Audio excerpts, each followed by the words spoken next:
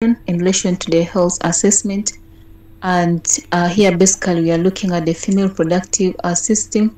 So we are going to examine the female productive system. And as you're preparing to do this examination or this assessment, I want to start by introducing this, that you have to ensure that there is proper preparation for gynecological examination. And also you have to emphasize the importance of pre-examination uh, readiness and uh, by this you have to make sure that you're ready uh, you're prepared yourself uh, with the equipments that are necessary for um, this assessment. So in preparation i want to see the steps that we need to follow. You have to ensure that the bladder is empty so the patient has to empty the bladder before you start uh, your assessment.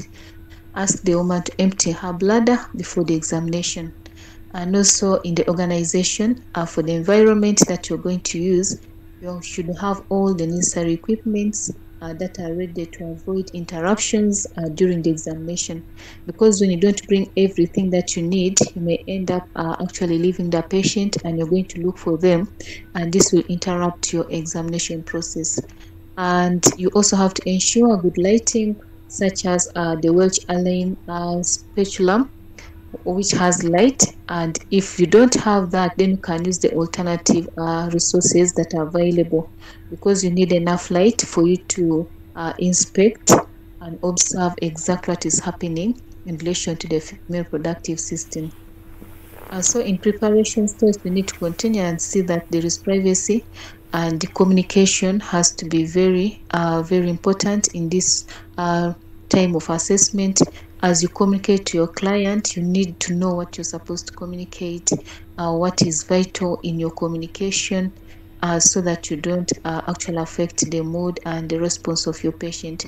So privacy is key for every individual as you're going to examine and imagine you're going to do a productive system assessment where privacy is very key. Then also have to uh, secure the consultation room uh, the room where you're going to examine this patient uh, has to be secure and you have to make sure that uh, this room is not going to be accessed by other people because sometimes there are some rooms that are used by different uh, staffs whereby when you start your examinations uh, people will come and they'll be interfering with you. So you have to make sure that this room is secure and you have to secure it for basically your assessment. And then communicate that the room is closed for privacy inform the patient that I'm closing this room basically for privacy. I remember when I was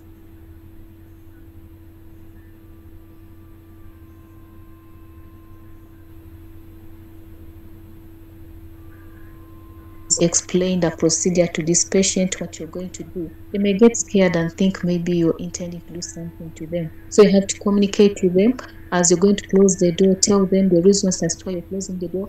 And this is basically to ensure their privacy uh, is uh, paramount. Then clearly explain the examination process to the woman if you're going to examine her and you're a male or even if you're a female because it's something that is uh, maybe uh, weird to them so you have to tell them, I'm going to examine you, and this is where I'm going to examine, and the reason for the examination is this, and the process that is going to take place is like this and like that, so that the patient will be comfortable and confident of what you're going to do.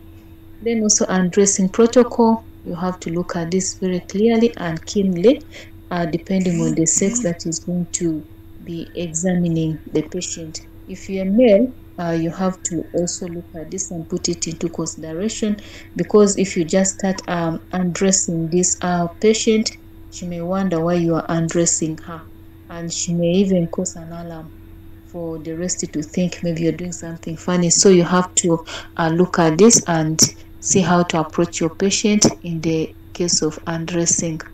So provide a gown or cover for the wound i mean for the woman. So when you're um going to address this patient, tell him or tell her, uh, basically tell her that uh, you're going to remove your dress, but I need you to put on this gown or I need you to wrap this on yourself so that the patient will be um, comfortable when you're carrying out your assessment. And she will allow to remove and she will put on the gown or put on any other clothes to cover herself. Then allow her to undress in private to maintain dignity uh, sometimes um, the patients may not want us to be in place where they are undressing themselves. So um, you need to keep yourself off, allow them to undress uh, in privacy. Then after they have undressed, they can tell you, I'm done. And then you can go on and carry out your assessment. Uh, patient positioning is also very paramount if you want to assess uh, this patient very well.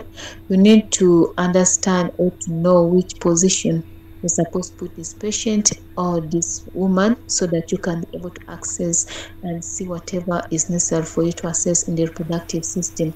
So in primary care, you have to put this mother in a dorsal position with the feet uh, in uh, stirrups or uh, in soles together and then also the knees apart. So there is a position that is basically put and that is uh, the dorsal position and there's where you're supposed to put uh, the sole where uh, the knees or the, the ankle joints are supposed to touch um, each other while the knees are put apart to expose what you're going to examine. Then in secondary care, you can put the patient in lithotomy Primary means when you're going to do just the basics. But in case the patient has some other complication, like maybe you're going to do evacuation or you're going to examine the cervix in case of cervical tear and repair, then these mothers are more put in the lithotomy position or um, the left lateral position for specific cases, depending on the case or depending on the condition or uh, the problem of the patient in relation to the reproductive uh, system. Then hand hygiene and glove use is very key uh, because you're going to touch uh, your patient. You need to put on gloves and you need also to wash your hands. And this is where we are able to prevent cross infections from ourselves as the health workers and also from our patients. So this will help prevent um, infection to us and also to our patients. So it is a two-way. So you need to wash your hands and also you need to put on gloves as you're going to examine the patient. So you need to stress the importance of hand hygiene to ourselves when we are carrying out these procedures and also to colleagues when you see them carrying out procedures encourage our people to wash their hands before and after uh, carrying out the procedure. And use of the glass examination is key. Uh, so anytime that you're going to do an assessment, especially in relation to touching areas where there are fluid secretions, better put on gloves to protect yourself from touching any fluids from the patient. So what could be the components of examination in relation to the reproductive system? One of them is the external genitalia inspection. So you're going to first start with inspection. We're going to just look at, at the perineum.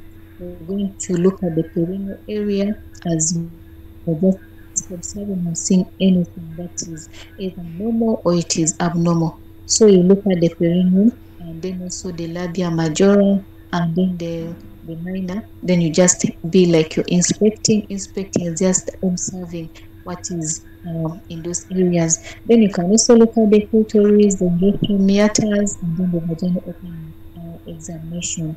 This can also be done depending on what really you are trying to assess from your patient and the condition of your patient.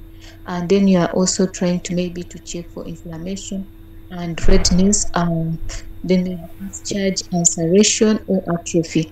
So during the time of inspection on the external genitalia, you'll be trying to look up uh, for any inflammations and then redness on the surface and maybe there can be some kind of discharge as you're observing and maybe ulcerations depending on what problem the patient is presenting with. Then palpation of the external genitalia. So after inspection, you are also expected to palpate. So you can palpate or just touch uh, the labia majora and then also uh, the Bartholin's glands Sometimes our patients uh, have the Bartholin uh, gland inflammation, whereby they can form an abscess, and this can be incised to X um, to to remove um, uh, maybe the pus in case the patient has developed the Bartholin glands abscess, and then the perineum.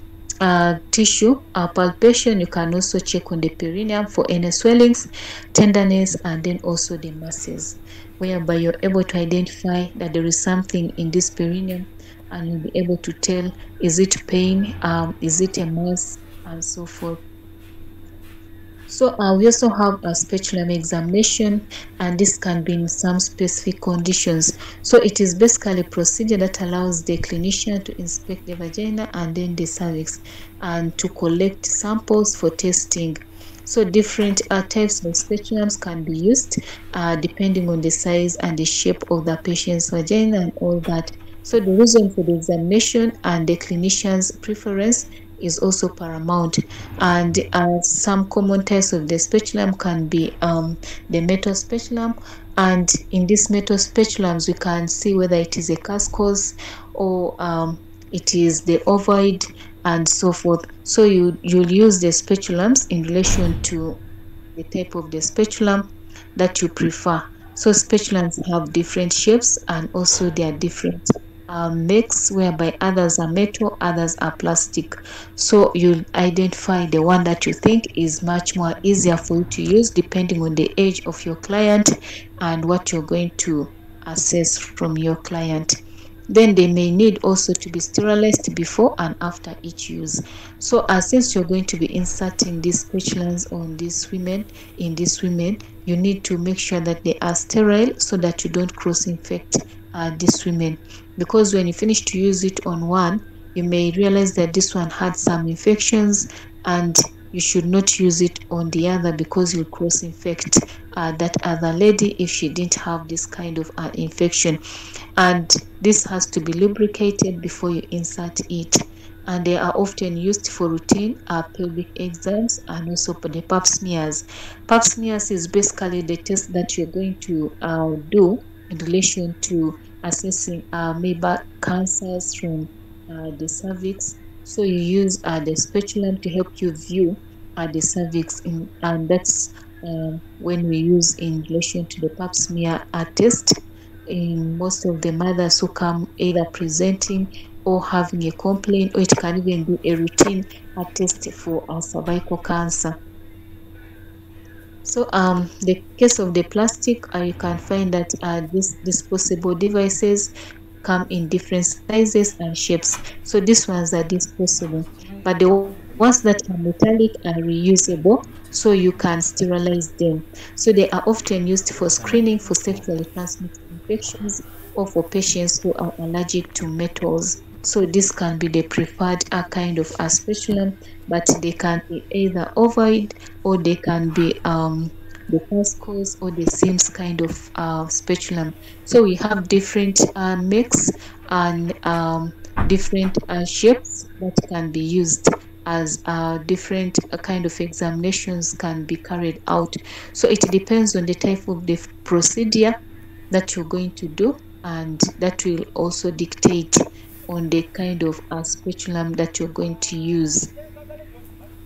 Uh, so I want us also to uh, maybe talk uh, some these other different two types um, the Pederson uh, speculum and these are narrow spatula that are suitable for patients with a small or narrow vagina such as young or nulliparous uh, women.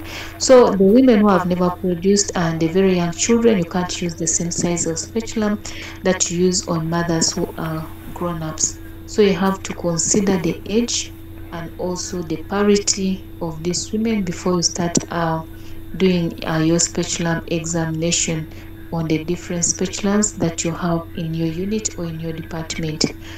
So um, materials needed for a speculum examination, you need a speculum uh, of appropriate type and size if you're going to do a speculum examination. You also need gloves and you mentioned that you need to put on gloves when you're doing um, um, a female reproductive system assessment and you need a lubricant. Very well say that you're not going to insert the speculum when you have not put a lubricant. So you have to put a lubricant uh, in this um, spatula. So start inserting them on the women. So lubricant is very uh, you still have to pre-lubricate uh, the spatula before you insert.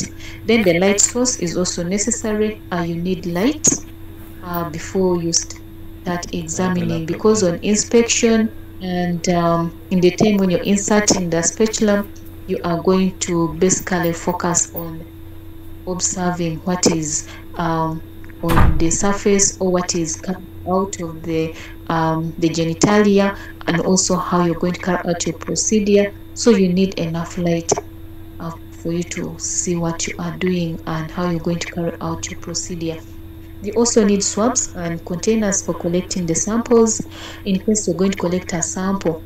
For maybe some other investigations so you need to have um, a sample container for you to use to collect this sample and you also need the swabs for cleaning uh, before you collect the sample. Then uh, cyto brush and slide for pap smears also um, can be um, one of the uh, materials that you need in case you're going to carry out a pap smear test depending on the indication. Um, on the speculum insertion and inspection, we are going to insert. So on the insertion process, you have to first lubricate the speculum with warm water or gel. We have the KY jellies, uh, that is what most people use in different facilities for lubricating uh, most of the things. Even when you're putting a the catheter you have to lubricate and they always use a gel especially the KY jelly. Then you explain the procedure to the woman tell her what you're going to do and the discomfort that she's going to have and so on. So that when you're doing it she's having that prior knowledge of knowing what will happen during the procedure. Then insert the speculum with the handle uh, orientation based on the position. Uh, so you have to handle the speculum depending on the position of the mother and also on the shape of the speculum before you start inserting it. So you have to insert it uh, uh, as you're handling it in relation to uh, the position of the mother and the type of the speculum you are using. For inspection, uh, observe the vaginal walls, see what is there, then also observe the cervix and then the potential abnormalities that could be in these different areas. Uh, the cervix characteristics, uh, look at the size of the cervix, look at the color, the surface, and then the os appearance. And there is always a say that uh, women who have never the os of the cervix is just like a dot but when you look at the women who have ever produced the cervix is like a slit. So that can be the difference. If someone has ever told you that she has never produced when you look at the cervix you can tell that this person has ever given birth. So uh, all this you can see during uh, the process of inspection for cervical cytology um, is basically a screening test that detects for abnormal cells in the cervix. And uh, this can be uh, precancers or precancerous cells along the uh, cervix. And this can tell you maybe uh, there is a sign of cervical cancer so that's when uh, always what always we do as a procedure for identifying uh, cancerous cells in relation to the cervix. So this is called the cervical uh, cytology kind of test. So you have to swab uh, make a swab uh, as you collect the specimen. So swab collection is always a procedure that involves taking a sample of cells or fluid from the cervix using a soft brush or a cotton uh, tipped kind of applicator. Uh, many times I think we have always uh, collected specimens using uh, some of the different applicators and you just apply the applicator on the surface of the area that you're expected to get a sample. So when you apply it there, just um, sweeping through uh, that area will help you pick uh, some of the uh, either particles and uh, maybe pick some of the cells in that area and that is what will be used for assessing or examination to identify uh, the different kind of either cells whether it is cancerous or it is not. So uh, we have to do a swab collection uh, which is basically a procedure that involves um, picking out some cells or any fluid around the cervical area to check for a cervical cancers. Then speculum examination is a visual kind of inspection of the vagina and the cervix using a device that is called a speculum and we mentioned about it. So the word speculum examination is basically showing us that you are going to use an equipment or a device that is called a speculum for carrying out your examination and this holds the vaginal walls open so when you want to see what is inside uh, you want to see the cervix you want to observe it to visualize it then you can use a vaginal spatula. And for it when you put it inside it holds the uh, vaginal walls apart and you're able to see exactly what is happening with the woman's uh, cervix and what can be even discharging uh, through the cervix. So what materials do you need uh, for cervical cytology and swab collection so you need a spatula for appropriate size of appropriate size and shape. Uh, so this looks at the size of the lady or the age. So you need to get um different uh, actually um a suitable um, spatula in relation to uh, the age and also the size. And that's when you'll be able to insert it um, uh, properly and adequately. And to be able to uh, show you what you need to see then also you have to have a lubricant, either water-based or non-medicated gel. Then gloves are always supposed to be there and enough light for you to observe. And then also cervical uh, spatula or brush for cytology in case you're supposed to remove a specimen uh, for cytological examination and a sterile swab or applicator for swab collection and these ones are basically uh, the equipments that you are going to use for collecting uh, the specimens. And then you may also need a slide or vial for cytology and that is where you're going to put the specimen after you've collected it from either the swab or uh, by use of the applicator. Then a transport medium or a container for swab collection. You should also be having that. Sometimes you can have a slide of the vial for cytology or you can have um, a container that you're going to put this swab and then it's kept there it's closed there um, properly in order to avoid any other uh, microorganism or any other thing from entering in it until uh, it reaches the site where it is going to be um, investigated. Then the labels and uh, requisition forms are very necessary and these requisition forms have to um, to, to show the name of the patient and they have to bear the, the age, the sex, all the biodata of this patient and the test that is going to be carried out in this specimen. And we want also to look at the bimanual examination that was uh, basically about the spatula examination, how we do it, why we do it, and so forth. So on the bimanual examination, uh, the bimanual examination is a procedure that allows the healthcare provider to assess the size, shape, and position of the female reproductive organs. So it involves two steps. That is vaginal wall examination. You're going to examine the vaginal walls and you're going to use your own hands or your fingers and that's why they call it bimanual because you're going to do it using your own hands. So the provider inserts two fingers into the vagina and gently presses on the walls to feel for any abnormalities such as the lumps, the cysts, or the tenderness around the vaginal walls. So you're going to insert your fingers and you're going to examine to feel for any kind of tenderness or any kind of swelling or cyst around the or along uh, the vaginal walls. And that's why they call it bimanual examination. Then cervical assessment and palpation uh, of the uterus and um, adnexa. So uh, the provider places uh, the other hand on the lower abdomen and gently moves it to feel the cervix. So you have to feel the cervix and you understand what is happening with the cervix just using your own fingers. That's why the midwives say and the gynecologists, the obstetricians, uh, they believe that our eyes are in the fingers. So when you insert your fingers, you're going to actually uh, comprehend uh, what is happening inside this mother's vagina or what is happening with the cervix just within your brain as the fingers are inserted you're able to understand what is going on. So as you insert your fingers you're going to feel for the cervix feel for the uterus and uh, maybe the ovaries and that is when you're doing the palpation. So the provider may also move the fingers inside the vagina to change uh, the angle of the uterus and the ovaries. So you can do this um, basically to assess how your uh, patient is uh, feeling. And when you're doing this you're able to see the facial expression for tenderness and you're able also to detect um, whether there is any swelling or any mass.